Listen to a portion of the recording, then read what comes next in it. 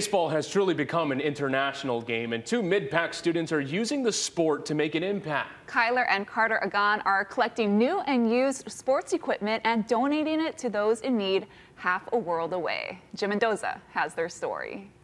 Kyler and Carter Agan have grown up playing sports. When the brothers aren't tossing a ball around, they're playing baseball for Mid Pacific Institute, but they do something else that isn't found in a box score. So we collect uh, lightly used or unused uh, baseball equipment and give them to underprivileged people around the Pacific Rim. It started with a pair of cleats that Carter was going to get rid of.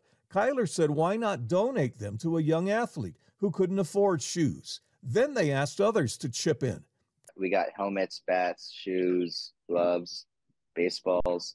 So you got just like any kind of uh, baseball equipment. With the help of Senator Glenn Wakai, they shipped the gear to Palau, along with goods Wakai had collected in a donation drive.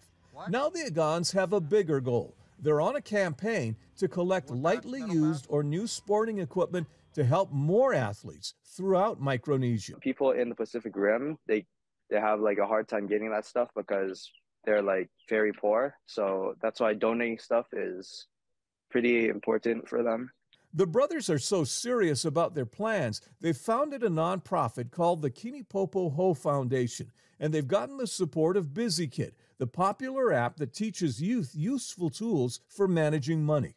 This is a perfect example of a couple of kids who have figured out that the world is bigger than they are. The Agans have used BusyKid to learn the value of earning, saving, and sharing.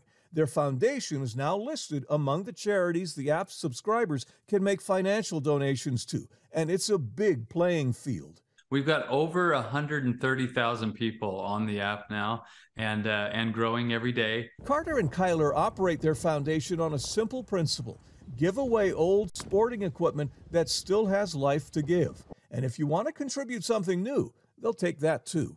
Uh, it helps me feel good because not only do I get to help others uh, who aren't able to afford the same equipment that uh, I'm able to get, but I'm able to help them continue to enjoy playing uh, baseball.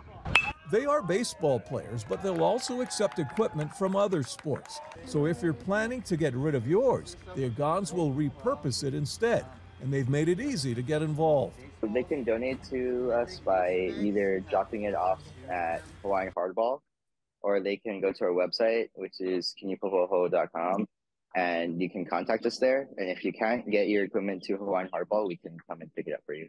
To borrow a baseball saying, these brothers have covered all the bases. I'm Jim Mendoza for Hawaii News Now. That is some awesome, awesome work right there. Yeah. And you know, the baseball community is so big in Hawaii, and it's so great to see them giving back. Absolutely. Good job, boys. Yeah. Well, thanks for